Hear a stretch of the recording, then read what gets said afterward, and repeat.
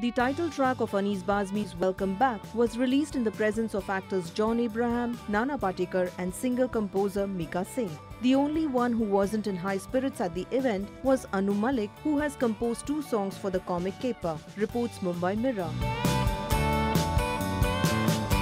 A source close to the film revealed that Anu Malik had left the launch in a huff, unhappy with the extra attention given to Mika Singh. Before the show started, the organizers had a briefing session with all the artists to discuss the flow chart. Anu, who walked in late, demanded certain changes, but the organizers stuck to the original plan. The host invited the actors first, followed by Mika, whom he introduced at length.